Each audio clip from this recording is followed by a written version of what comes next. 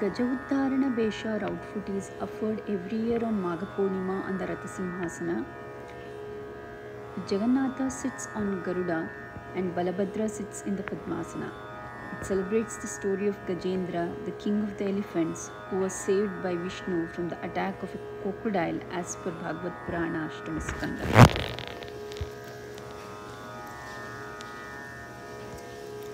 Story of Gajendra Moksha As per Bhagavad Purana Ashtama Skanda, there was a Raja by name Indradyumna in Malava Pradesha.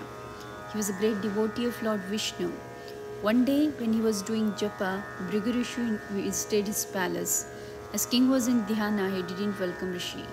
Angered by his behavior, Brigarishi cursed to take birth as Gaja, elephant, as he behaved like an elephant. Then Lord Indradyumna took birth as Gaja near Trikuta Parvata and lived there.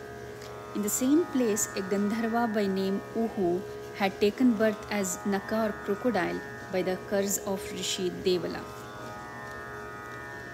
One day, as Gajendra was bathing in the Suramya Sarovar with his wife and children, this crocodile bites his leg. Elephant tries hard to get rid of crocodile as it is very powerful, but crocodile, which is equally powerful, doesn't leave elephant's leg. The fight between elephant and crocodile continues for 1000 years. His wife, relatives, everyone leaves Gajendra. Finally, with the sanskar of previous birth, Gajendra gets smarane of Lord Vishnu. Gajendra takes a beautiful Padma or lotus from the pond and showing the Padma to the sky from his trunk starts calling Lord Vishnu to accept his offering, which was heard by Lord Vishnu, who was one lakh yojana away from him.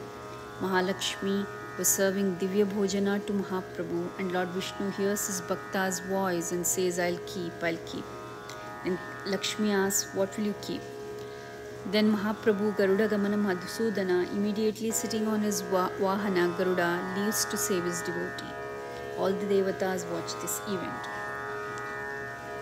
When he arrives to Suramya Sarovar, he himself with his soft hands frees the leg of elephant from the mouth of crocodile and with his Sudarshana Chakra divides the head and body of crocodile.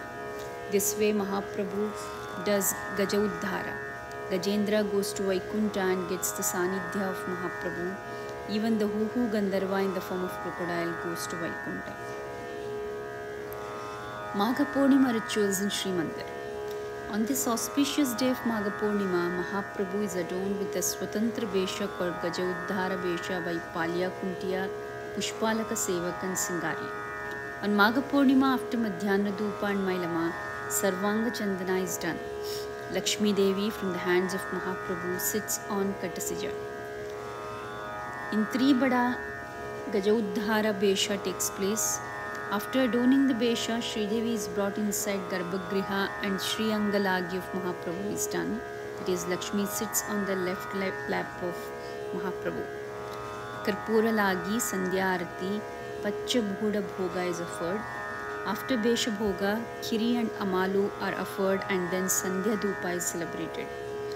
Sandhya Dhupa, the general public is allowed to have Darshana or Sahana Mela.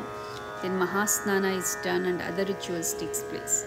Special bathing of Garuda is also done by Chunara Sevaka after Madhyana Dhupa and Kuta prepared from Sola is adorned to Garuda. Another Garuda near Mahaprabhu is made from Katta, Jari, Jambura. Today, devotees chant Gajendra Moksha and pray Chaturbhuja Narayana to remove all Vigna from their life. Picture of Patitapavana adorned with Gaja Uddhara Vesha. Chaturbhuja Narayana sitting on Garuda with Mahalakshmi sitting on his left lap.